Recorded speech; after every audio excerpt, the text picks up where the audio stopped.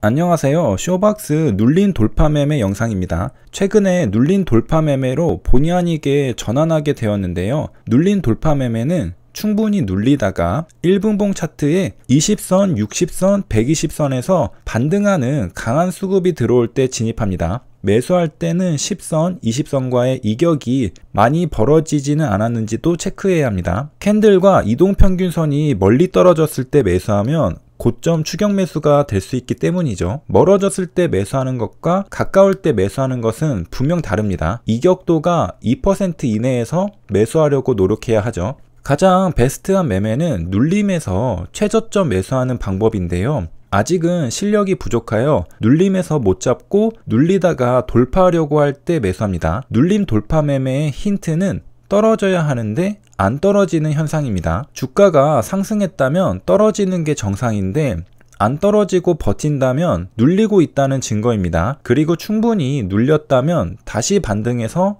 상승하게 되죠. 그러나 눌린 돌파 매매는 아무 때나 시도해서는 안 됩니다. 100%는 없기 때문이죠. 그렇다면 눌림 돌파는 어떨 때 하는가? 정말 어쩌다가 한 번씩 시도하면 성공할 가능성이 높습니다. 무슨 말이냐면 눌림을 잡아보려고 노력하는 와중에 기다리다 기다리다 못 잡고 결국 급등하려고 하면 위로 따라산다는 말입니다. 원래 목적은 눌림 매매지만 눌림에서 매수를 못했을 때 어쩔 수 없이 돌파로 매수하는 기법입니다. 즉 눌림을 못 잡고 반등해서 급등하려고 하는 초기에 눌린 돌파 매매로 따라 붙습니다. 따라서 눌림 돌파 매매는 시도 때도 없이 사용하는 기법이 아니라 눌림을 놓쳤을 때 눈물을 머금고 더 비싸게 사는 기법인 것입니다. 눌림 매매의 실력이 다소 모자랄 때 눌림 돌파 매매를 하게 된다는 것이죠. 어떤 관점에서 보면 눌림 돌파 매매도 결국 눌림 매매의 추격 매수 버전인 것입니다. 가장 실력이 좋은 경우에는 눌림에서 더 낮은 가격으로 매수하게 됩니다. 기다리면 알아서 반등하고 돌파까지 일어나죠. 그 다음 실력이 방금 설명드린 눌림 돌파 매매입니다. 실력 부족으로 인해 눌림에서 못 잡고 조금 더 높은 가격에 돌파로 매수하게 됩니다. 마지막 실력이 정고점 돌파 매매입니다. 앞선 눌림 매매,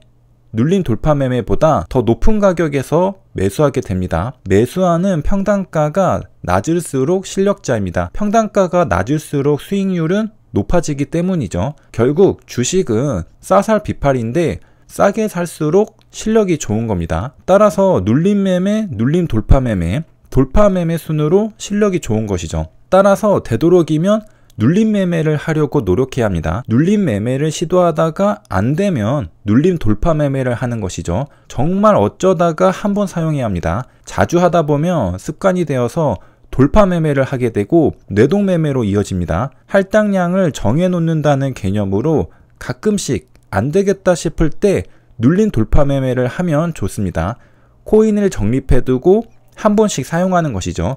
하루에 1코인이 주어진다고 생각하고 정말 안 되겠다. 이건 따라 붙어야겠다고 생각이 들 때 아껴둔 1코인을 사용해서 눌림 돌파 매매를 합니다. 그래야 뇌동 매매를 막을 수 있습니다. 그렇다면 눌림 자리는 어디냐? 눌림 자리는 정고점 자리입니다. 박스권, 지지와 저항이 눌림과 돌파 자리죠. 그 외에도 여러 가지 조건들이 있는데 주식 단타 매매에서는 뉴스 기사가 중요한 역할을 합니다. 그래서 자신의 매매를 되돌아보고 뉴스 기사를 보고 진입한 비율은 과연 몇 퍼센트가 될지를 점검해 보는 것도 중요한데요. 저의 경우에는 통계를 내보니 뉴스 기사를 보고 진입한 비율은 74%입니다. 반면에 뉴스 기사를 안 보고 진입한 비율은 26%입니다. 뉴스와 수익은 상관관계가 있기 때문에 뉴스를 보고 진입한 비율이 높을수록 더 매매를 잘했다고 볼 수 있습니다. 더 실력자라는 것이죠.